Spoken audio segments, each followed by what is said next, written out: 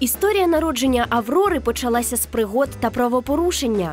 Ми були якраз у місті Вишгороді. Е, Перейми е, посилювалися, тобто почала роді- почалась ротова діяльність активна. Е, І ми вирушили, звісно, в дорогу. Е, За кермом була моя близька подруга. Коли ми доїхали з Вишгорода вже до е, вулиці Олени Теліги, е, побачили затор. Далі нагадує сценарій фільму. Кажу, слухай, тут є транспортна полоса, і точно знаю, що там ну, дуже великий відсоток, що є поліцейські, які чергують.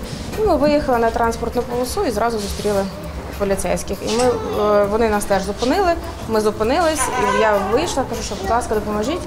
І хлопці навіть ні хвилини не вагались, тобто вони тільки запитали, куди їхати. Ми всі сіли в машину і всі поїхали. Для лейтенанта Олександра такий випадок супроводження породіль уже третій. Проте зізнається, таких швидких пологів жодного разу не бачив. Після того, як сіли до автомобіля, відкрили пропускові маячки та спеціальний звуковий сигнал, е, виїхали на смугу громадського транспорту. На породіллю медики чекали на порозі лікарні. Дівчинка народилася вже за півгодини. Її назвали Аврора на честь світанкової зорі.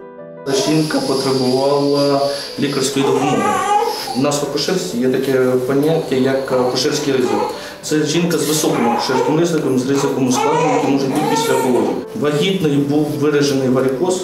Маленька Аврора вже відсвяткувала тиждень від дня народження. Її мати досі згадує появу донечки зі сльозами на очах. А поліціянців, які допомогли так швидко потрапити до пологового будинку, називає янголами-охоронцями Аврори.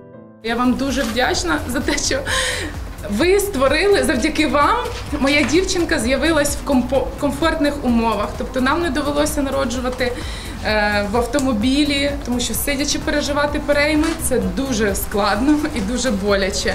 Нині Олена у статусі багатодітної мами. Жінка має вже двох синів. Тепер в родині з'явилася ще й донька.